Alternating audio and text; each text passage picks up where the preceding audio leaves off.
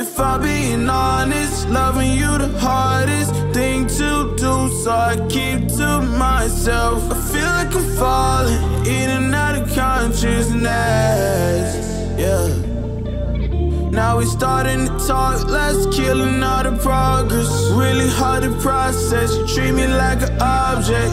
Baby, we toxic, can we stay on topic? I feel like we lost it, feel like we lost it. Take my love, don't waste it. Even though I don't mind waiting. Late test, my mind racing.